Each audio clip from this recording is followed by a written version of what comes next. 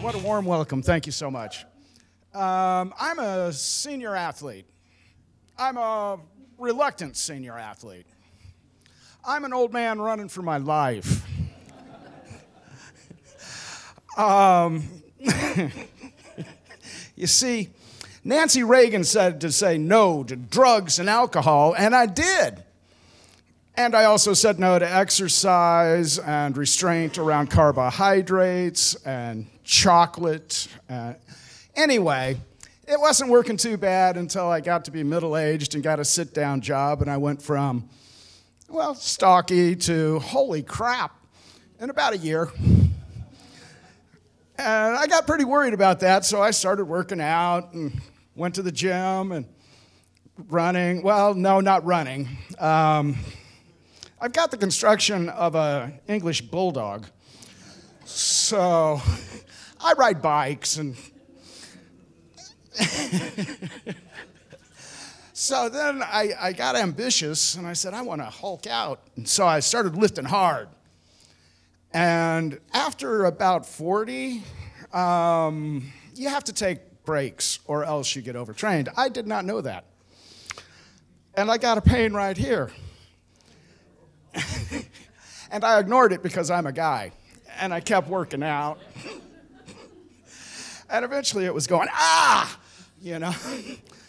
and I mentioned it at the VA, you know, right after I went, ah. And I said to the nurse, I'm sure it's not my heart. And she got a very worried look on her face. And what she heard was obese, smoking, middle aged man in complete denial of his impending cardiac event.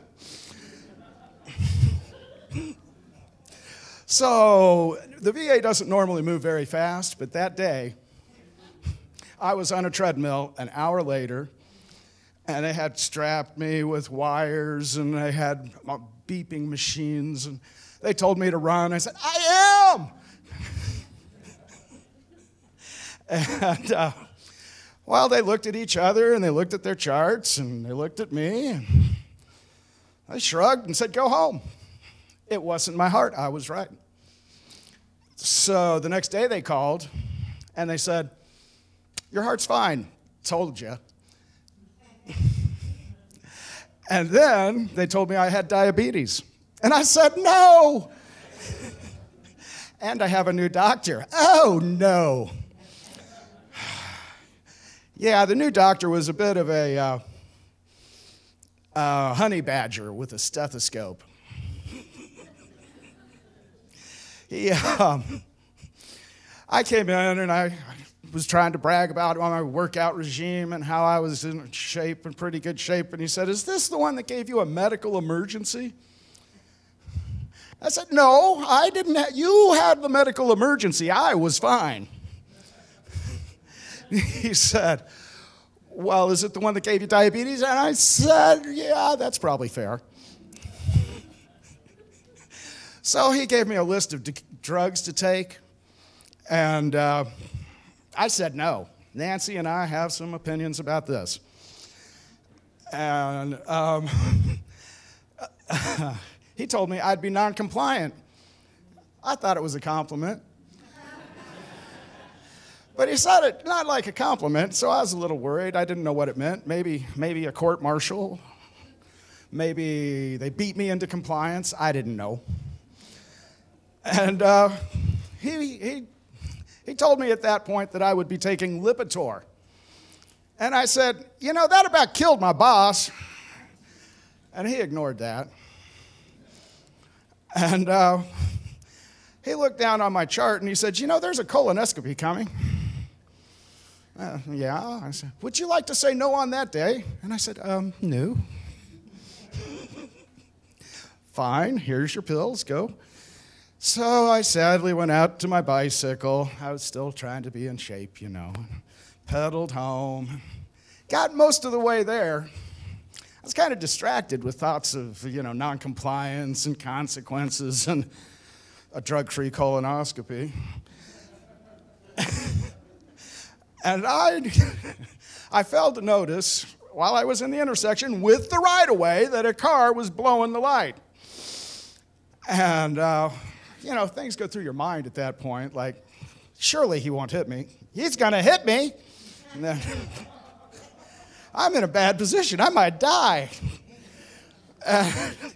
And then I hit. It didn't hurt, surprisingly. It doesn't hurt at first. You know. Uh, then I was flying, and I said, Well, I died. It didn't hurt, so that's a good thing.